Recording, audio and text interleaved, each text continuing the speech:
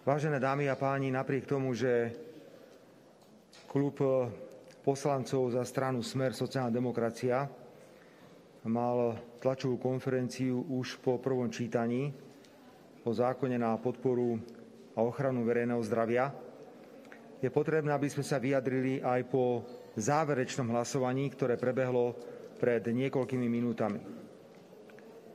Chcem zopakovať, že celý poslanecký klub strany Smer sociálna demokracia v plnej zostave hlasoval proti tomuto nezmyselnému, diskriminačnému a protiústavnému zákonu. My sme sa domnievali, že v noci medzi prvým, druhým a tretím čítaním bude predložený rad pozmenujúcich návrhov, ktorý zabezpečí vysvetlenie toho, čo vlastne má vládna koalícia týmto protiústavným zákonom na mysli.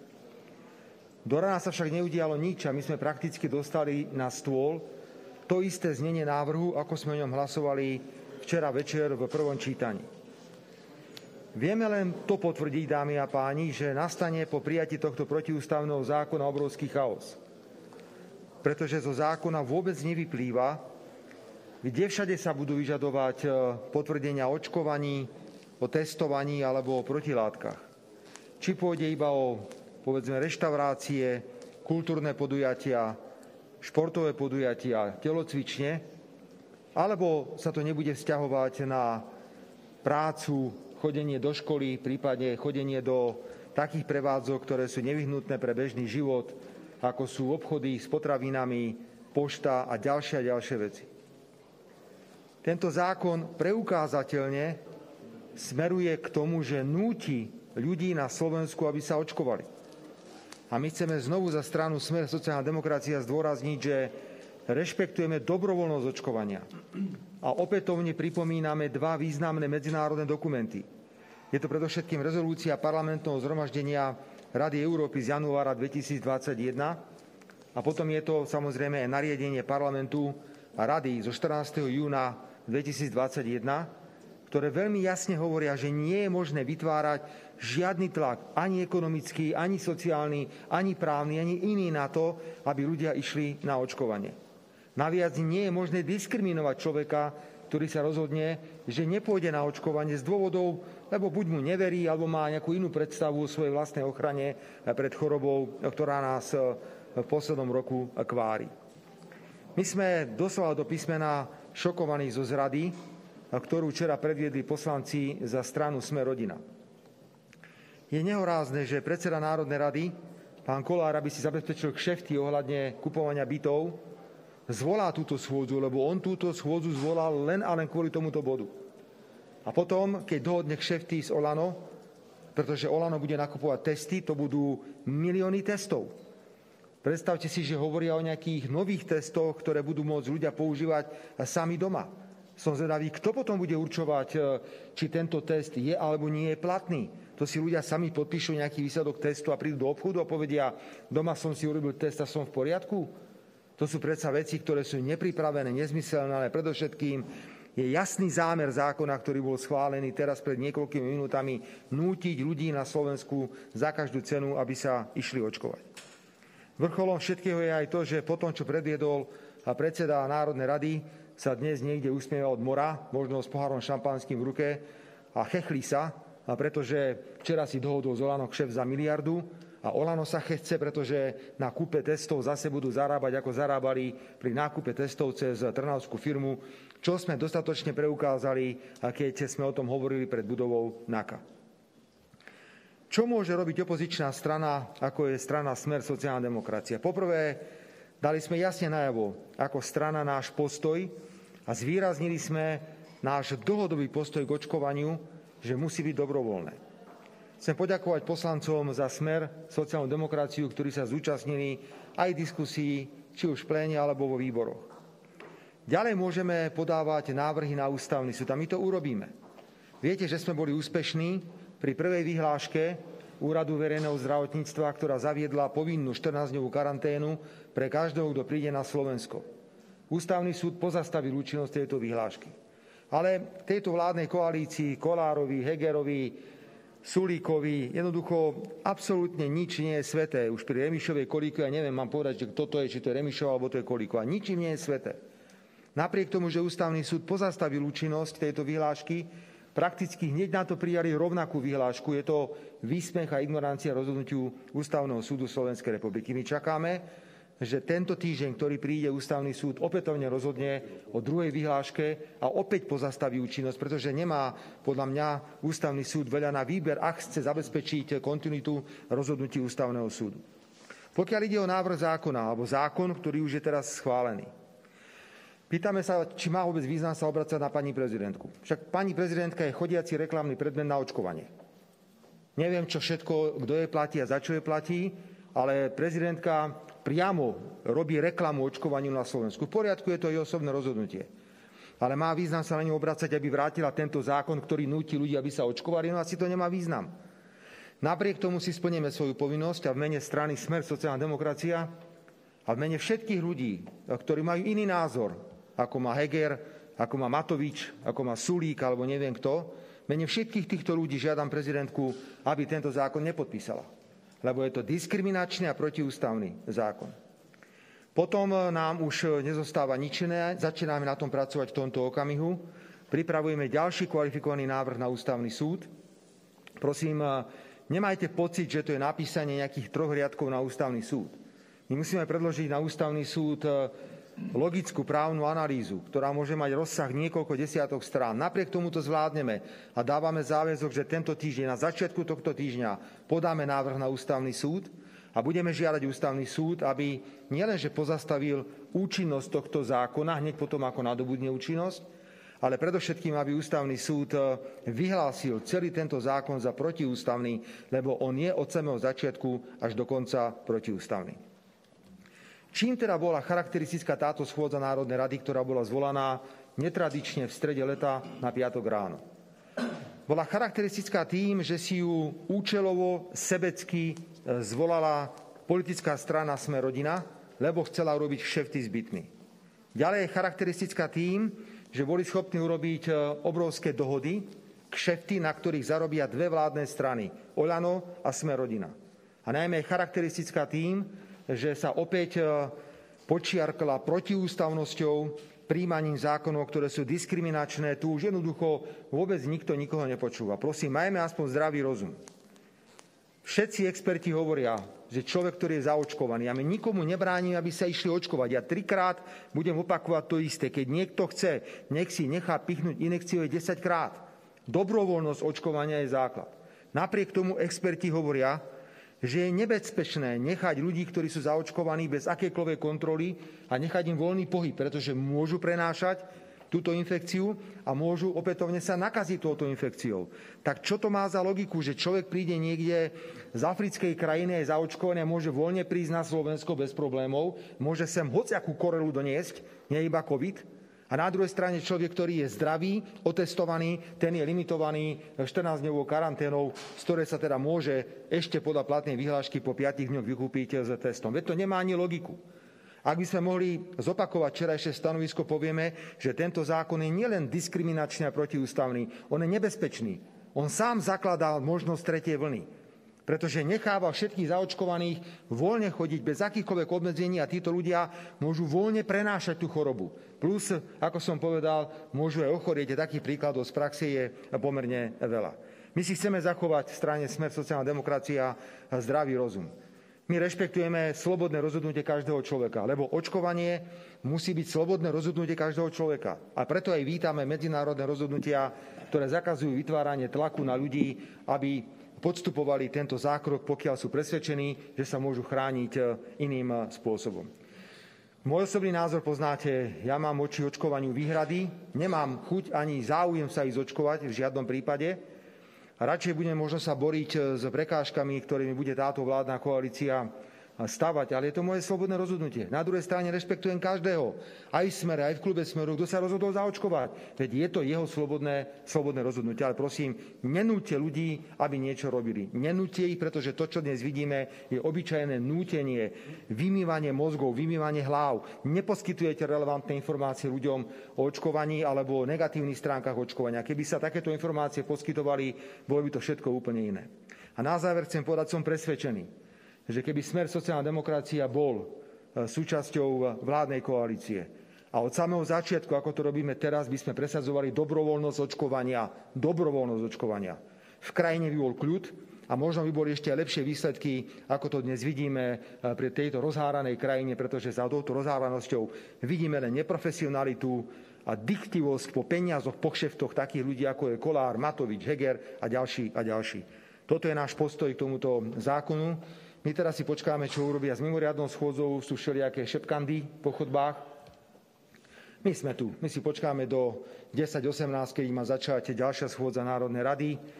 V mene predkladateľov predložím eh, návrh na odvolanie Mikulca sú to veci, ktoré sú šialené, vôbec som by ani nemal chodiť po svete, nie to ešte chodiť po ministerstve vnútra, ale veď o tom sú e, mimoriadne schôdze, na ktorých budeme presviečať verejnosť, že čo za ľudí to preboha sedí e, vo vládnej koalícii. Veľmi pekne ďakujem. Ja by som ešte ale poprosil teraz e, nášho člena ústavnoprávneho výboru, pána podpredsedu, pána Borisa Suska, pár aspektov, pokiaľ ide o ústavnosť tohto zákona. Ďakujem pekne za slovo, vážené dámy páni. Okrem toho, čo povedal pán predseda, že tento návrh zákona je v rozpore s medzinárodnými dokumentmi, najmä preto, že vytvára diskrimináciu a vytvára tak sociálny, ako aj ekonomický tlak na nezaočkovaných na to, aby sa dali zaočkovať, pretože ich bude nútiť vykonávať také aktivity, ktoré by inak možno nechceli vykonávať, tak máme za to, že tento návrh zákona je aj v rozpore s ústavou a ďalšími zákonmi platnými v právnom poriadku Slovenskej republiky. Tento zákon dáva biankošek Úradu verejného zdravotníctva na to, aby vydal nariadenie, v ktorom si navrhne akékoľvek opatrenia, aké bude chceť. Ústava Slovenskej republiky hovorí jednoznačne o tom, že základné práva a slobody je možné ukladať len zákonom alebo na základe zákona. Na druhej strane ďalej hovorí ústava to, že medze základných práv a slobod, ktoré je možné obmedziť, je možné stanoviť len zákonom. To znamená nie na základe zákona rozhodnutím nejakého iného orgánu, ale len priamo zákonom. No a tie medze, na základe ktorých majú byť tieto opatrenia Úradom verejného zdravotníctva stanovené, v tomto zákone absolútne absentujú. Čiže je to absolútny biankošek, ktorý neurčuje žiadne medze, ktorý Úrad verejného zdravotníctva môže stanoviť.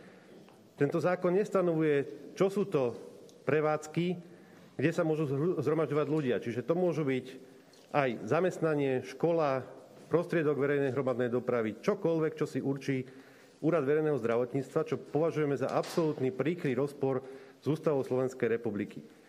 Okrem toho ešte na výboroch bol prijatý pozmeňujúci návrh k tomuto návrhu zákona, ktorý hovorí aj o tom, že Úrad verejného zdravotníctva aj bude určovať, že aký napríklad test bude platný a len takýmto platným testom sa bude môcť občan preukazovať.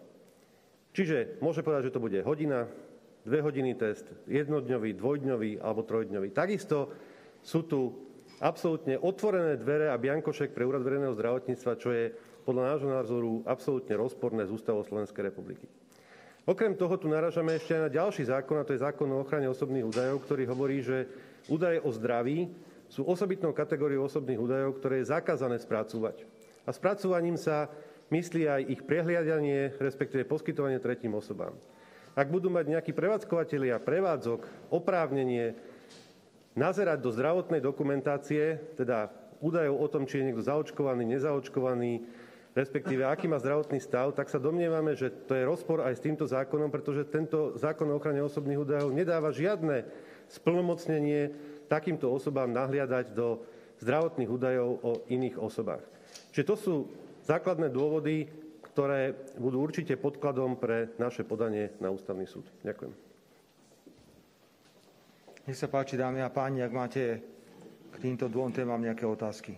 Dobrý deň, Krupová Jojka. Pán Fice, mám otázočku na vás. Vy ste tu spomínali, že keďže sa blíži tá mimoriadná schôdza ohľadom odvolávania ministra vnútra Romana Mikulca, že ste tu teda už začuli nejaké šuškanty na chodbe, čo by asi pravdepodobne mohla koalícia urobiť alebo neurobiť. Môžete byť konkrétnejší, že čo sa ano. chystá? Nechystá možno? Jedna z možností, pokiaľ ide o vládnu koalíciu, obštrukcia my ako skúsení politici musíme rátať aj s takouto možnosťou. Táto obštrukcia by spočívala v tom, že vy neviete úplne zmariť schôdzu o odvolávaní člena vlády, pretože toto je schôdza, ktorá v jednom okamihu musí byť. Toto nie je schôdza, ktorá je zvolaná na základe 30 poslancov k nejakému programu, k nejakému uzneseniu, vtedy sa nemusí schváliť program a schôdza sa nekoná. V prípade vyslovovania nedôvery ministra schôdza musí v jednom okamihu nastať. My ale musíme rátať so situáciou, pani redaktorka, že napriek tomu, že my sme tu kompletne a budeme predkladať tento návrh a už sme pripravení ho predložiť, že vládna koalícia urobí Národnú radu neuznášania schopnou. Čo znamená, že nebude možné konať. Ale to nemá vplyv na schôdzu. Schôdza musí byť potom v nejakom inom termíne. No len ak si myslia, že my sme nejakí hlupáci, že oni dnes neprídu na schôdzu a schôdza nebude a že oni pôjdu na dovolenku na Capri alebo kam za pánom Kolárom dávať si šampanské a my sem budeme chodiť každé tri dní a na nich čakať, tak sú teda na veľkom omyl. My potom samozrejme tiež príjmeme procedurálne rozhodnutia, ktoré zabezpečia odloženie tohto bodu programu na termín, ktorý bude taký, že bude musieť prebehnúť. Viete, Musíme s tým rátať. Ja nebudem na nich ani kričať, ani nič iné, pokiaľ urobia obštrukciu. Takáto možnosť tu je, pretože vieme, že tá schôdza raz musí byť. Nás skôr hrozí, pani redaktorka, že by nechceli o tom hovoriť, čo sa deje dnes v rezorte ministerstva vnútra. Ja znovu použijem iba jeden príklad za všetky a prosím, dajte mi tú možnosť. Nie je možné, nie je možné, aby, ak je začatý policajný zásah proti trom ľuďom, ktorí sú životne dôležití pre zistenie, či dochádzalo alebo nedochádzalo k manipulácii s trestnými konaniami. Bavíme sa o troch ľuďoch. Presne tie mená budeme opakovať už verejnosti. Čaba Demeter, Zeman a tretí sa volá Petrov. Jeden je pod prezývkou Tiger, druhý je pod prezývkou Bandurka alebo Zemák a ten tretí sa volá Čaba, teda podľa prvého mena ho prezývajú. Títo traja ľudia preukázateľne patria do skupiny tzv. univerzálnych svetkov, za ktorými pracuje polícia a prokurátori a navádzajú ich, aby krivo a falošne podporovali iné výpovede, aby to vytváralo nejaký dobrý obraz. A teraz inšpekcia chcela týchto ľudí zadržať a začal policajný zákrok voči ním. A zrazu príde pokyn z policajného prezidia, zastavte zákrok na hodinu. Dvaja okamžite sa stratili, tretieho chytili Jeden na úteku, druhý tvrdí, že je v Chorvátsku. Vysvetlite mi, ako je možné, že hneď potom po hodine ten zákrok pokračuje ďalej. Preto sme mi tvrdili, že policia spolupracuje s týmito zločincami, policia ich chráni a myslím si, že v prípade toho, čo je na úteku, tak mu aj poskytuje ochranu v podobe takého útočiska, kde ho nevie v tomto okamihu nikto, nikto nájsť. Pretože práve ten, čo je na úteku, potvrdzuje podobne ako ten, eh, ktorý je zadržaný Čaba Demeter, že áno, klamali sme vo výpovediach, vymýšľali sme si, lebo nás v týchto veciach ovplyvňovali. A predovšetkým si to prosím teraz prepíšte na prípad Dušana Kovačika, kde presne tento svedok, ktorý sám teraz hovorí, klamal som, keď som tvrdil, že som videl, ako niekto v reštaurácii odozdáva obálku s peniazmi. On vie, že nemohol nič vidieť, lebo tam je také sklo, ako keď zvárate a máte na hlavu tú príľbu, tam nie je nič vidno. A on sám priznal a povedal, áno, klamal som, lebo ma k tomu navádzali, ma k tomu nútili a že povie, že kto to bol alebo kto to nebol. Vôbec spoliehať sa na výpovede takýchto grázlikov je mimoriadne nebezpečné. Potvrdzuje sa teda to, čo Slovenská informačná služba povedala. Vtedy sa všetci smiali, že to sú iba také nejaké spravodajské hry alebo spravodajské informácie. Riaditeľ tajnej služby, pán Aláč, na rokovaní Národnej rady povedal, to, čo je napísané v správe, je podchytené procesne použiteľnými dôkazmi. To znamená malý ITPčka. A keď si prečítate uznesenie o vznesení obvinenia voči tým drom, o ktorých som hovoril, Demeter, Petrova a Zeman, tam sú výpisy z ITPčiek. To znamená, tam sú zaznamenané ich telefonické hovory, kde klamali, kde zavádzali tak ak o tomto nechce rozprávať vládna koalície, čo si myslí, že to len tak vyfučí do vetra, že my to tak necháme? Ako sa majú cítiť tí ľudia, ktorí sedia pre Boha vo väzbe? Keď vedia, že niekde chodia po Slovensku grázli, ktorí voči ním krivo svedčili a ešte ich policia je chráni tých grázlov. Preto, či to bude dnes, alebo to bude o dva týždne, alebo to bude o týždeň, to je jedno, táto téma nemá kam ujsť. Pani redaktorka, prichádzajú šialené informácie ďalej. Vy viete o tom? Informujte prosím o tom, že súčasný poverený šéf inšpekcie, to je ten, ktorý tam došiel po pánovi Sabovi, ktorého tady poslali preč. Viete, že vyšetrovateľku z inšpekcie stiahli z prípadu a chcú ju poslať na detektor. Viete o tom, že tento pán, ktorý dnes vedie inšpekciu, bol zbavený previerky bezpečnostnej kvôli tomu, že v rokoch 2010 až 2012 vynášal informácie do kriminálneho prostredia? To čo za lumpov vyberajú pre Boha? Najväčší lump sedí na samom vrchu na ministerstve vnútra. Ja už presne viem, prečo si ho Matovič vybral. On presne vedel, že na takúto špinavú robotu potrebuje človeka, ktorý nezaváha sa spojiť s takáčovcami, keď riešil spor ohľadne svojho psa alebo teda psa suseda, ktorý mal očúrať plot. To je príbeh, ktorý som už v parlamente hovoril a budem o ňom hovoriť ešte aj dnes. Je to mimoriadne vážna vec, ktorá sa na Slovensku deje. Do tohto kontextu treba vnímať eh, tie veci diskriminačné a protiústavné. Tá atmosféra v krajine je šialená. A do toho pani prezidentka ešte zmarí referendum.